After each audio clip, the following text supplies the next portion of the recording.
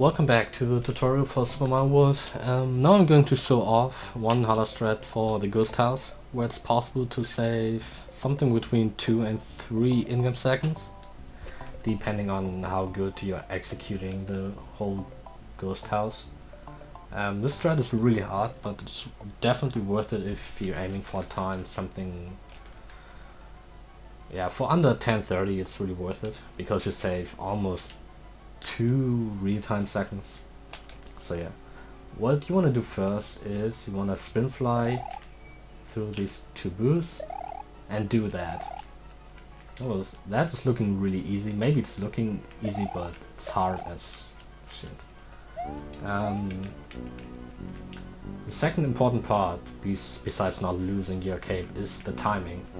So if you're going too slow, like still getting through the two boos, but still going too slow. The second boo ring in the second room won't be at the right spot, so you will get hit. So you want to go there at the right timing.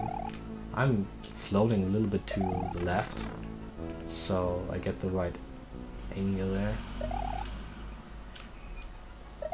It's depending on so many things if you get that or not. So now that's one hard, like this is really hard now. Um, you wanna fly immediately through these boos. Um,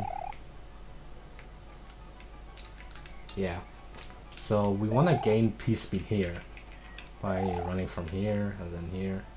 And, we, and then we wanna gain it here, not jumping normally up and then here. No, we wanna gain it on the first thing here. So let me just try to show it. That's the strat. That's looking really hard. It it is hard. It's looking hard and it is hard. Like I did I didn't get it yet in a real run. Like just in practice. Because practice land. Uh, so let me do slow motion. I hope that's okay. So So you want to gain P-speed here, fly up a little bit, bonk this wall there, or the ceiling. Like, that's part. Like, sometimes you're flying too high. Wow. that's weird. Um, sometimes you're going to hit the coin block there. That's happening like there. Like, that happens if you release A too late, so you're floating up after the ceiling there. Like, the timing is pretty tight. It's a pretty hard trick. But, yeah. That's like the thing of the ghost house. So, yeah, like, in my opinion, the most important thing is getting, like, getting through the first room at the right time, so the second boo ring is at the right spot so you're not going to hit because if you're too slow I think or too too fast then you're going to get hit by this first booger there. Like no matter how fast you're flying here you're still getting hit by them.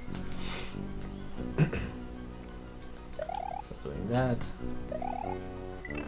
That's looking easy now because I got the perfect boo ring there because sometimes you're getting hit by by the second flight too a good method is just like when you're landing on the coin block. Like what I do sometimes and what I did in my last PB, like if you're landing on the coin block there, then it's possible to gain P speed back or like still having enough P speed to and just fly up. It doesn't waste too much time and and it's a lot safer than flying through the left ring then. Now I just got the perfect, like right here. It's not wasting too too much time. It's a, it's a lot safer. But yeah, the optimal method. See, like that can happen too if you are jumping too early. You want to run for a little bit after you land it. And the second important part to not waste too much time is how you hit the P-switch, because you can just drop him and jump back on that. What I'm doing is, that. Like, I jump and then I let go all of the buttons. Let me do that in slow motion. Like, I jump up and let go of all the buttons, and then you're landing on the P switch. It's not that hard. And, and then you can go into the door. Oh, well, you wanna... Well, and then you get a 370. It's possible to get a 371 if you have a really good timing, but then the timing for the boo ring is a lot harder for the second room. But well, with that strat, it's possible to get a 340 or 341.